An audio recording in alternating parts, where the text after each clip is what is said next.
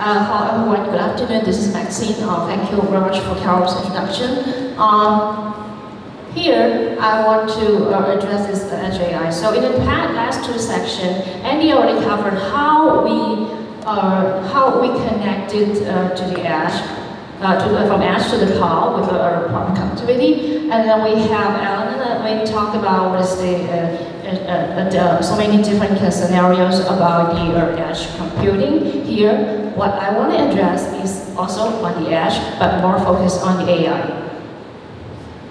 Here you see this uh, map showing all the, uh, the complete structure uh, about uh, what, uh, what AI is about. Okay, we have application here, we have training, whether this is on premise training or on cloud training, and we have inference here. This is uh, basically a, a, very simple building block you can see about AI. So uh, we already have so many big companies like Google's, like HPI, Dell, uh, and NVIDIA showing that what is uh, uh, what is all about and what is capable on the training. They do it, okay? They already show us what the, the, the precision, the accuracy that we are, we are now ready to apply AI to the, to, to, to the real application so it is also why we want to address the edge inferencing, because this is what is really happening and what is, uh, it is meaningful on the edge. Okay, uh, this is a product roadmap of our uh, Edge AI solutions. You see that we have uh, acceleration modules here. We are so focused on uh, the partnering with Intel. So right now we have the famous Movidius modules available in uh, M.2, mini PCIe, PCIe by 4 with different uh, combination. 1 VPU, 2 VPU, uh, up to 8 VPU. So uh, I think you already hear so many uh, introductions regarding uh, about the next generation of Intel solution here. The Keem Bay, we already are on the early access uh, program that we will have a co-launch together with Intel by the time frame or or June, June 2020. Okay, uh, I want to address more about the uh, acceleration modules. So what is this about acceleration modules? Uh, it is not something can stand alone, it can run by, by themselves. It is acceleration module you put on top of the solution, the motherboard, the system you're using. This is what we want to do because we don't want to change everything you do. You have been working on one for your, for your application. We just want to put a additional computing power so that it can dedicate to uh, on the uh, AI inferencing. This is what we. This is what about the uh, acceleration modules. So uh, this kind of acceleration module should have the flexibility on, to our um, to, uh, to, to realize that what, what, what you need to compute. So, like I said, that we have solution with one VPU, and if you need furthermore computing power, you can scalable it as, uh, to use two VPU. And uh, for a bigger scale, like uh, if I want to, I want to recognize a facial recognition, uh, you know everyone here in this room, like 100 people, that we need more computing power so that we can have additional more VPU, like four or eight VPU together. So this is the acceleration cast we have. Um, like I said, that what really matters is that you can quickly add this acceleration module to what we're using. Motherboard system. And yes, why we have this acceleration module into standard form factor is, is the key reason, okay? We have M.2, mini PCIe, PCIe by 4. Those are popular uh, industrial interface that we already have even uh, mostly on every motherboard and every, every system, okay? And instead, uh, not just on hardware interface, but also on the uh, operating system level support. Okay, this Intel Movidius solution support popular OS from uh, Microsoft Windows 10, Ubuntu, CentOS, and Yocto, those are popular distribution of Linux so that you can quickly uh, uh, do your integration. And moreover, Intel has a very powerful uh, uh, inference of, uh, uh, software package which called Intel OpenVINO Toolkits. This is the uh, very important features that uh, uh, Intel or while Intel developing their AI technology, which I'm going to uh, talk uh, more about later. Okay, what about performance? Okay, you put a VPU in the system, then what they can do. Here is a little benchmarking uh, com uh, comparison with a, a, desktop or Intel Core processor. So this is one VPU performance. Those are the uh, AI, very popular AI models. Okay, if you're running on a one VPU, you can have a, a, a number 57. Okay, it's about a frame per second. So here in this chart, the number higher would refer to a better performance. So um, um, as reference, this is a, a 35 watts uh, desktop Core i3 processor. So of course the computing power is much better. Why? Because you pay $400 for this CPU. Right? Okay, it's reasonable. But um, can VPU do a possibly the same thing? Yes, you can have this uh, scalable features. Here we have 8 VPU to together computing which is much better even on a Core i7 desktop processor. But if you talk about CR, that's another story, okay? Um, but uh, another uh, another uh, view that you can uh, you can look at about VPU is how much dollar per uh, how much frame per second you're gonna get per dollar. This is what uh, Intel want to highlight. So in this case, this is a much you know cost-effective solution. This is a VPU. So Again, the number higher, which means it's better. So you can have a better number over, uh, oh, okay. Is, uh, which means the per dollar value is approximately to an i7 processor here, okay? Another benchmark I want to show you is that FaceView you already are, uh, heard about a lot about, okay? Uh, we have FaceView running on a uh, Movidius VPU and another uh, comparison we are running on a Celeron processor. So you can see that we can, uh, you know, uh, we only use 82.78 milliseconds to recognize a face. And by a Celeron CPU, which need much longer. So which means that, you know, running facial recognition is better on a VPU than a CPU. And Another uh, scalable, uh, scalable feature to, to show you is that, okay, if you're running on one VPU to recognize a face, there's 82 milliseconds. But if you're running together on eight VPUs, you shorten the time tremendously, especially when we have, like I said, that if I want to recognize everyone here in this room, about 100 person, I can have a 8 VPU as, I, as my, my solution.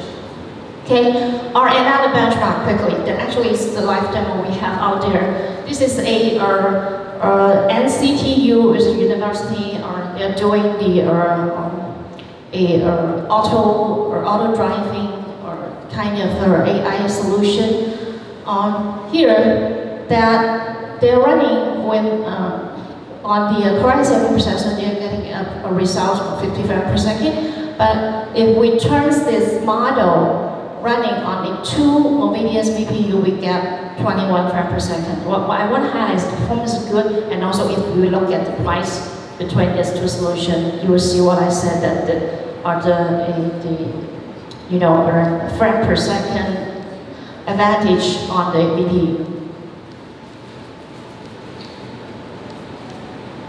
Okay, so VPU, well, what kind of protocol do you support? So we have many customers using uh, NVIDIA for, for, for many years. Can I convert it to, to, to the Intel solution? My answer will be yes. Why? You can see there's a major uh, frameworks that on the AI, uh, AI world, okay? TensorFlow, Caffe, ONNX, MXNet. These are the models which Intel VPU already support. Actually cover the majority of the, of the uh, AI world. So you can have the confidence. If you have customer using NVIDIA, you can ask them to try on this um, Intel solution. Okay, next I want to show uh, to to uh, to show a bit about uh, uh, application. So another feature is very important about Intel Movidius is the low power uh, it has over our other solutions. And why we need low power? Because um, in this case very good, is AGV. What is the power from for the AGV? It's from battery, okay? So you really care about the battery life. And this kind of AGV are widely adopted in the uh, e-commerce uh, logistic like Amazon. Uh, so uh, thousands of AGV is uh, implemented in their logistic house and in the warehouse so that they can accelerate the, uh, all the processes because like Amazon, they're claiming that they would like to have a 30 minutes delivery in the near future in North America. So you can imagine how many AGV they need to, to, to make this happen. So um, in the past, um, also uh, mostly used a uh, guided um, kind of uh, well to show uh, where the, the where to go.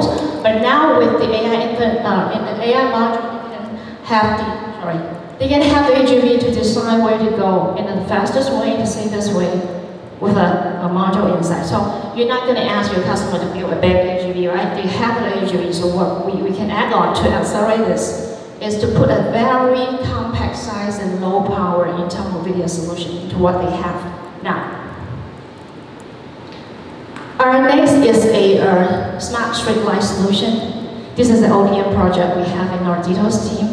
They built a, a computing board on the uh, Intel Atom solution, already provides a very good connectivity to all the devices, including uh, sensors.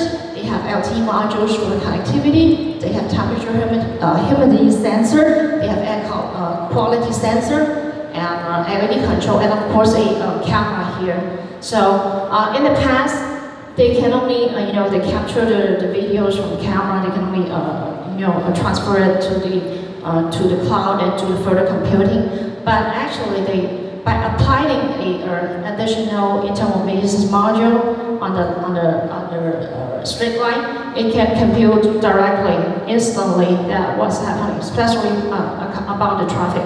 Like, is there illegal parking or is there any accident happening? That uh, we can run inference or uh, instantly and then get the result back to the cloud and get further, you know, handling the, the incident.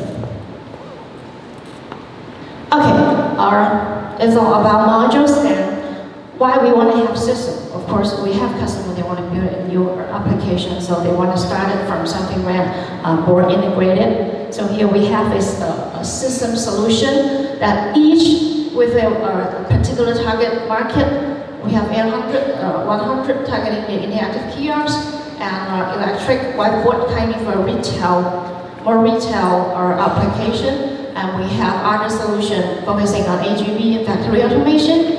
Um, our Air 200 is a, a compact size uh, family solution uh, targeting those uh, in, in vehicle or traffic because of the extended temperature and also the certification it, it already certified. And for the high computing, which uh, want to have like NVIDIA kind of uh, computing level for the uh, AI acceleration, here we have Air 300. This is another appreciation story I would like to share with you, which is actually the live demo we have uh, out there. Okay, um, this one, this uh, this uh, robotic arm is from a customer called uh, Technic. It is a leading or collaborative robotic arm uh, provider here in Taiwan. They already have the solution. They already have the rule-based AI inspection, but what they want to do is implement the AI inferencing to do the uh, optical inspection. Um, just like I said, they don't want to change anything for, to what they have because doing this for many years, they're running very well. They don't want to change the system. But as this AI, you need a, a new system for training, right? Uh, like I said, that they found out that they don't even need a, HP level or server computer with a Xeon processor or a multiple GPU card. Instead, they find that using Air 300 with just one NVIDIA 2080 Ti GPU card as a, a, training engine would be enough, would be more than enough.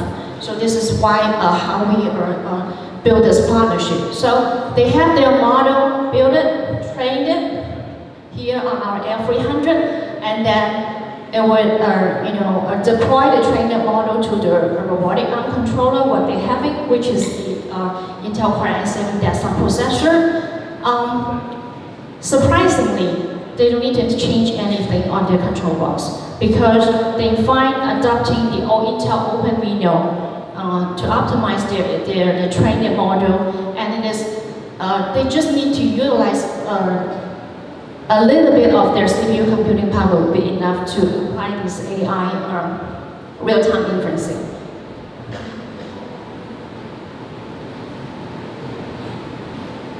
Okay, uh, I've been talking about Intel Open, OpenVINO. I would like to address more about this. What it is? Um, first, you have to remember, it's nothing about training. It's nothing about training. It's all about inference. Why do you, about, uh, why do you care about inference? Because um, you know, training has been a, a big topic and everyone's taking good care of it. Um, but in the past, if you don't have OpenVINO and you have, uh, if you want to deploy your training model to the to the uh, to the edge, you have to install the complete uh, framework, a big package of software on the system. That's why you need a very uh, high computing power. Oh, but as I said, the OpenVINO very so focused on the inferencing. So what they have to is the model optimizer, um, which can convert and optimize your your model, your trained model, to be more simplified and more uh, easy to run on the uh, no matter the CPU, the integrated GPU, or the VPU solution from Intel. So this is the, that's why they can uh, improve the, the inference performance. So from the uh, real-time deployment that we, we see that uh, using uh, OpenVINO to optimize the model, you can have about at least 15% to 30% on the computing performance of the, uh, of the AI result. And also, you can only use 20% from those traditional, you know, uh, putting the whole framework, uh, that's the memory capacity. It will go down to only 20% you used to have for this inference. This is very important. Okay, again, OpenVINO supports so many topologies, so you have you don't have to worry about that. So what what you what you have been doing, what you have been trained, the model you build would, would be would be a waste. You just simply adopt it on the OpenVINO, so that. Um, TensorFlow, no problem, uh, mostly based on the NVIDIA architecture. Caffe ONNX, understand? Okay. Um, Edge AI Suite. What is Edge AI Suite? Why we need to have Edge AI Suite? Because we already have OpenVINO, so powerful, they're doing the inferencing. Why Advantech still, you know, using our resources to uh, to develop this Edge AI Suite? Because OpenVINO is just a toolkit. It's for developer. You know, if you're a, a, very talented engineer, you have no you have no problem, you know, uh, getting the OpenVINO, install it, uh, have all the arguments to adjust. But in fact, if you're not, or you're just a traditional um, hardware vendor or SI, you if you want to get this set up, you probably need uh, maybe a, two weeks or maybe a month to get to know all the interfaces or the arguments. You have to you have to spend that kind of time. But with this Edge AI suite, you just need to install the OS because we have the OpenVINO or the settings or the uh, user-friendly interface into an application level package. You just install it, a few clicks, and you can or experience what um, AI and what OpenVINO is directly with a user-friendly uh, interface. And also all the uh, uh, pre-trained model available on OpenVINO would be available too. So uh, we have the version 1.0 available uh, together with our Vega uh, 330, 330 acceleration modules. And now we have an uh, enhancement, which is version 1.2. First, with a uh, update on the OpenVINO toolkits, so that it can support what? Heterogeneous hardware accelerations. Like I mentioned, not only VPU can do AI inferencing, CPU, GPU, you can use it all together, not only one device, but cross the uh, heterogeneous computing on the AI. So it will optimize the performance across these three devices from Intel. Okay, this is very important. And also, we uh, have a YOLO V3 tiny benchmarking tool available on this version, so that uh, uh, what's about uh, YOLO V3 tiny is a very popular or small or a small scale model which is used in the uh, object, object detection. Okay, but uh, to make it optimized, actually there is a lot of work to do. So we already package it into a, a small tool of this uh, inside of HIS so the customer can can experience. They can import their tiny V3 models into it and get optimized performance, maybe uh, like uh, 15 or 20 frames per second. And like I said, all-in-one install is another features, and we still keep it. Okay, next is the software solution we are going to launch as the uh, first uh, AI-based or IDOT app we have. FaceView. We, I think you all guys got a lot of introduction from Stefan, from CyberLink CEO, and also from Intel about this. So it's a very high precision accuracy rate 98.5% facial recognition engines. So if you guys already registered uh, out there, you know, have registered, you can instantly experience it. You will recognize, you, you will be recognized by on the video wall and also on the demo. So accuracy, you know. And we think that this kind of facial recognition is, uh, is one of the uh, killer look app that for uh, so many uh, applications which should be integrated, like uh, for corporate or hospitality, retail, and banking government. Here I wanted uh, to introduce you more about the functionality of this facial.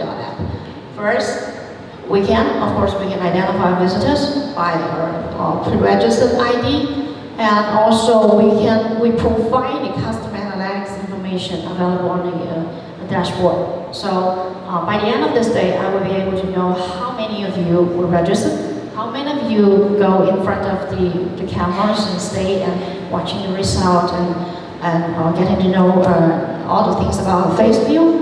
And we also provide interface for customer management. So this is a UI ready. So it's a dev, it's a app.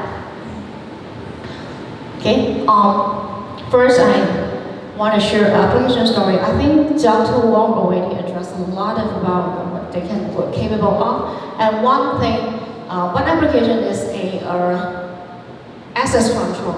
I think there are many of the uh, airports in uh, Norfolk. I, I, know the LAX already have it, have this facial recognition self-boarding.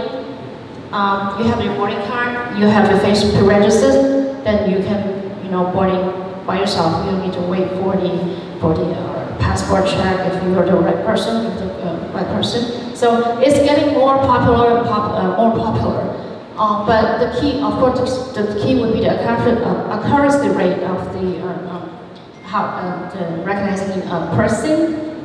And but not just for this, we can also facilitate this in the you know the building building security okay? And also uh, in the morning that uh, Dr. Wonder addressed like the drug control, um, that uh, at that scenario you're not able to use your fingerprint as an identity. Okay, I, uh, I've been repeatedly to say that we wanted to have additional AI features on top of what customers have. So here is what we want to mention, is the dot depth we provide not just the uh, user interface we have here, those building blocks, but for integration, you will need an API to integrate into the access control system you're having, like what we're having here in Advantech. You just need the engine, but you you don't need to go over all things like opening the door or whatever.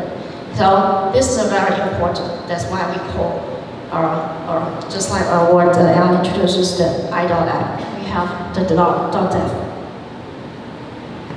Okay, um, a short uh, introduction about what the user interface we have. Like I said, that we have a dashboard visualizing the visitor behavior and uh, those records for the VIP. You can manage those uh, blacklist records. And here's the uh, management or interface. And yeah. Okay, I think that's all about FaceView. So this is a short recap. Uh, recap. Edge AI solution. What we focus on right now is to enable the edge application, to enable the AI on the edge with our acceleration modules, our inference system, and also our software solution. And that's all my presentation. Thank you.